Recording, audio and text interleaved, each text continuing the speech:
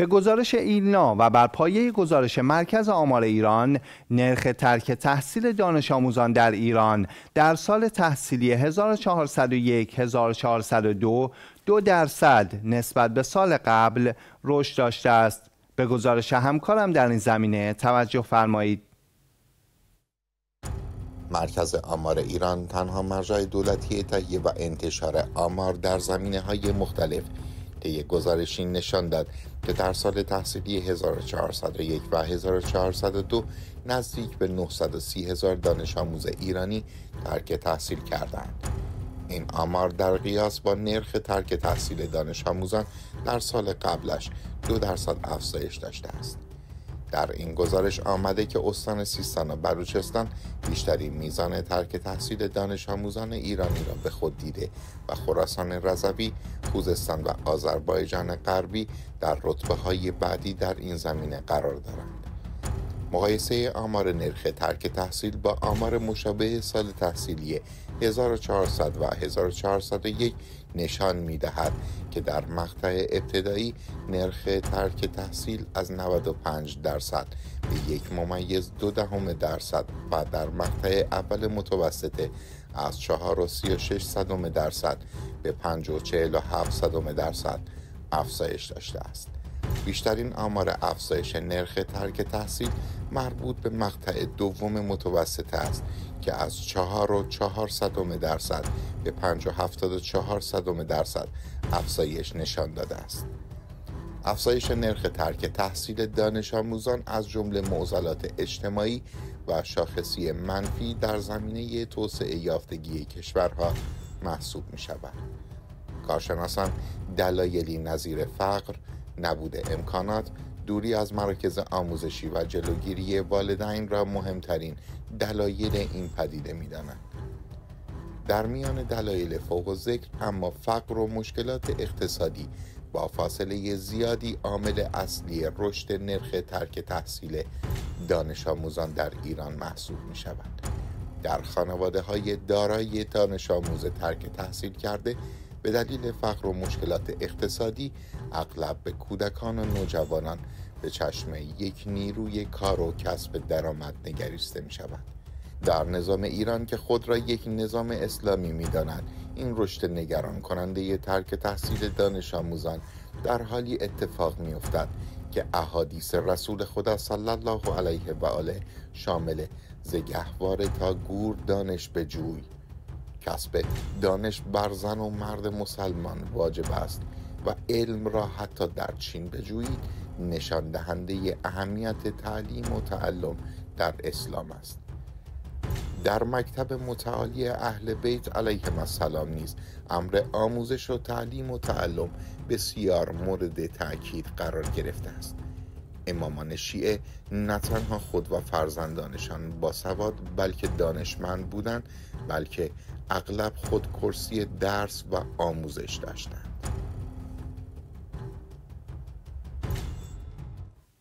بیشتر صحبت کنیم در این باره با محمد خاکساری صاحب امتیاز هفته نامه قلم معلم و فعال اجتماعی و سیاسی از ایتالیا سلام وقت شما بخیر آقای خاکساری علل و عوامل اصلی رشد نرخ ترک تحصیل دانش آموزان در این سالهای اخیر چیست؟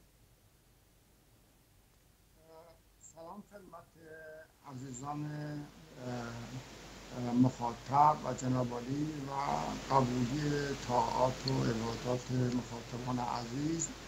ارزم مسئله خیلی مهمی رو شما بهش پرداختید گزارشتون کاملا درسته. دلایلی رو هم که اونجا گفتید هم اکثریتش موجب افت تحصیل میشه. اما بهتر که ما اون دلایل افت تحصیلی گفتید ما در نقطه که الان پیامدها و نتایج این کار شده اون ارزم بخواد روی این پرداخت بشه مناسب دلایلش که مشخص هم تنمالی فرمون دلایل اقتصادی سیاسی اجتماعی فرهنگی و خصوص ساختاری. اما نگاه کنید شما برای هر هدفی این هدف چه می‌خواد سیاسی باشه اجتماعی باشه فرهنگی باشه ما نیاز به یک انگیزه داریم. هم وقت انگیزه ما قطع میشه نتیجه ما این کار برای ما ملال انگیز و خسته کننده میشه و حتی موجب افسردگی. همینطور مسئله آموزشه.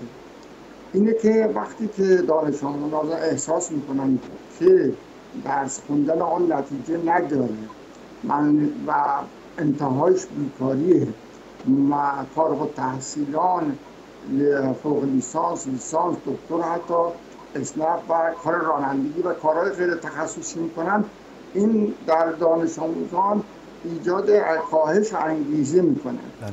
و موجب افت و از همه مهمتر نگاه می‌کنیم که غیر از اون مسائلی که شما گفتید نگاه می‌کنیم طبق آماری که خود آموز پرورش در همین سال گذشته داده این خیلی فاجعه آمیزه که میانگین امتحان نهایی شده ده تا یازده یعنی نشان دهنده افت تحصیلی در سراسر کشور داره این مسئله بله. می‌دونید اگر افت تحصیلی موجب میشه که تکرای پایه ها من کاهش درون آموزشی و از نظر اقتصادی بسیار ضربه می‌زنه به و همطور مهمتر از اون این ارزان به خدمت در نتایجش که خیلی الان ما احساس می‌کنیم و می‌بینیم افسردگی استراب تمرک عدم و اختلالات روحی برای دانشون بله. ما سابقه نداشتیم